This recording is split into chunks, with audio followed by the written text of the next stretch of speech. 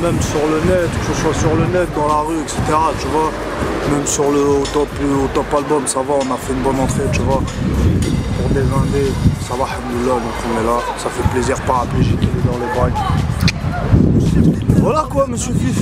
Ok. Bon, déjà, tu vas nous parler du, du titre paraplégique. Pourquoi paraplégique? Parce que le titre, il a rien à voir aussi avec la pochette, ou peut-être Je sais pas. Non, mais non, justement, la pochette, non, la pochette, c'était, je voulais quelque chose de, par rapport à la pochette, je voulais quelque chose de, tu sais, de, de bonhomme, quoi, tu vois, de, quelque chose en noir et blanc, quelque chose qui fasse euh, pas rap de gamin, tu vois. Non, parce qu'elle est classe, la photo, ça fait, euh, Ouais, ça, fait... sérieux, quoi. Ouais, voilà, c'est, un projet sérieux aussi, tu vois. Ouais. Ça, on sait pas foutre de la gueule des gens, tu vois ce que je veux dire.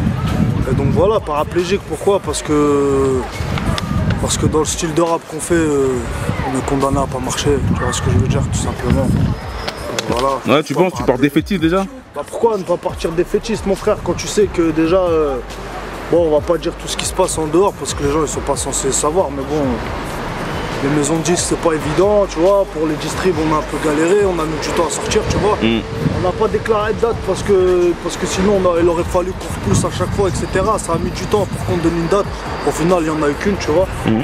mais euh, mais ouais, c'était pas, c'était pas gagné d'avance, paraplégique, c'est pas gagné d'avance mon frère. C'est pas du rap que t'entends à la radio, donc voilà. C'est sûr que c'est sûr que partir comme ça, tu peux que partir défaitiste mon frère.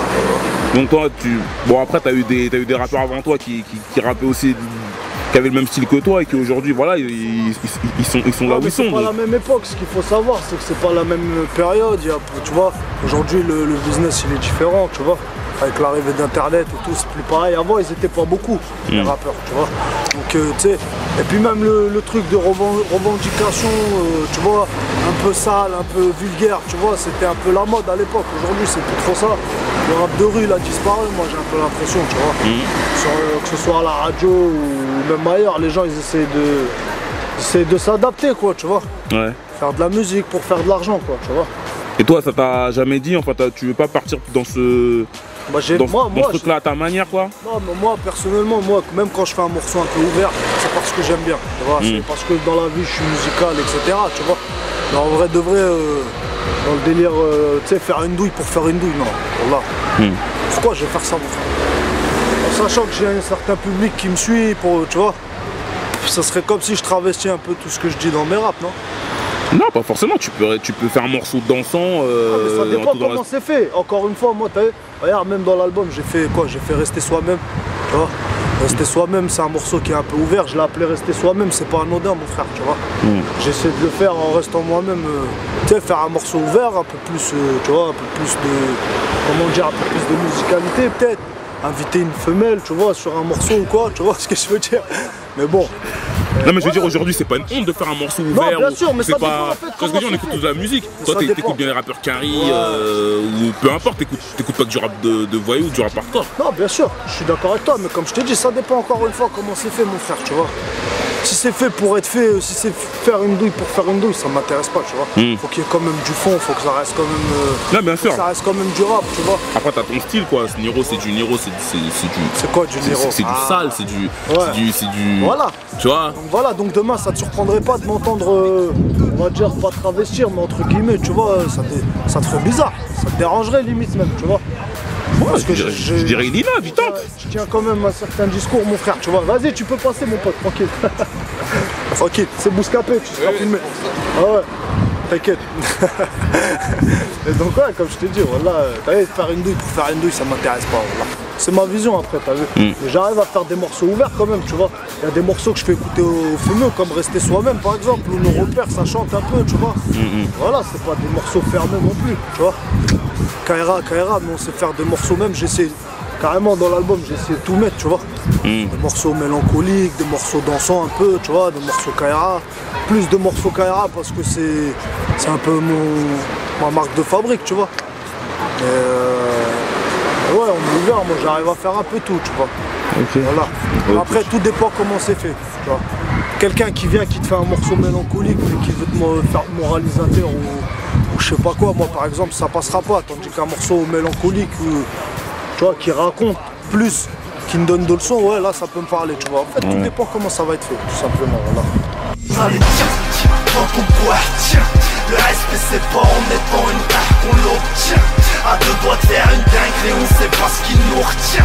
S'ils veulent m'éteindre, j'hésiterai pas à allumer, c'est ça le. On te la met dans ton boire, tiens.